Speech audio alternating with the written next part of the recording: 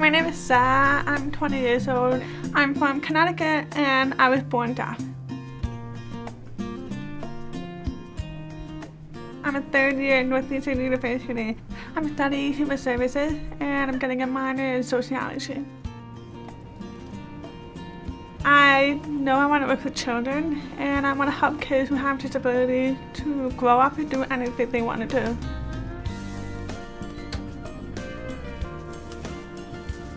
When I was a kid, I did ballet, soccer, basketball, cheerleading, Girl Scout, everything. It's kind of nice to be able to prove to my school that just because I can't hear doesn't mean I can't participate.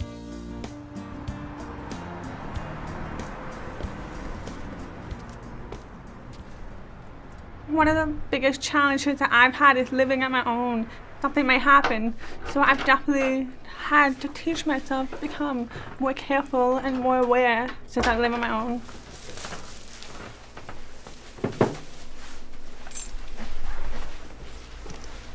One of the things that I've had to become more aware of is fire safety. Cooking fire is one of the leading causes of home fires in the nation. When I'm cooking, I have to be careful what I wear. So wearing a scarf and having my hair down, it could catch on fire. So I have to make sure I'm wearing the right clothes.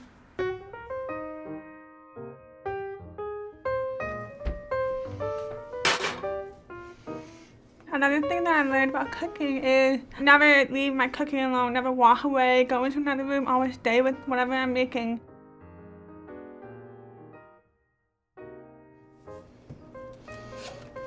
If there's a grease fire, if you put water on it, it's gonna expand and explode. So never put water on a grease fire. Put a lid on a fire.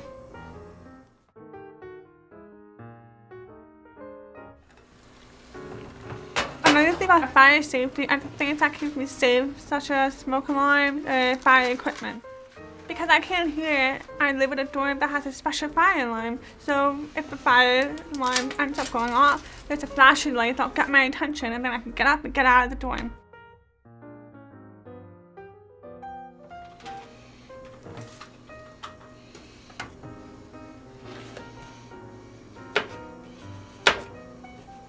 You should always have a sprinkler where you live. Automatic fire sprinklers will put out fires and give you time to get out of the building.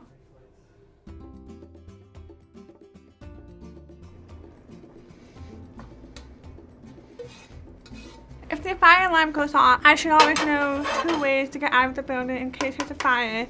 You want to make sure that you have a second way out in case the first way, the way you came in, is blocked, It's no matter where you are. If you're in a dorm, classroom, movie theater, restaurant, anywhere you are, you should know two ways to get out.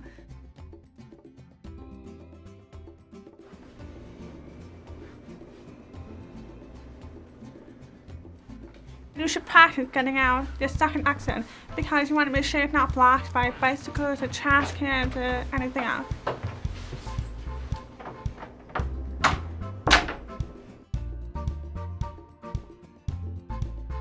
It's very important that I'm prepared for a fire emergency, regardless of where I am. School, my dorm, classroom, movie theater, anywhere.